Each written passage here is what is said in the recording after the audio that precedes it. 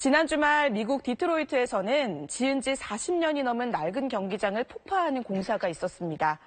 자, 이렇게 큰 경기장이 단 몇 초 만에 폭파로 인해 역사 속으로 사라지는 장면. 과연 어떤 모습이었을까요?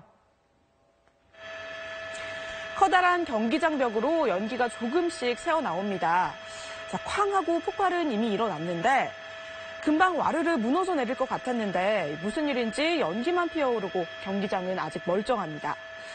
시간이 흘러도 연기만 날 뿐 경기장은 원래 모습 그대로를 유지하고 있죠. 결국 이 경기장 폭파 작전은 실패로 끝나고 말았는데 철거회사 측은 연결 장치에 문제가 있었다고 합니다.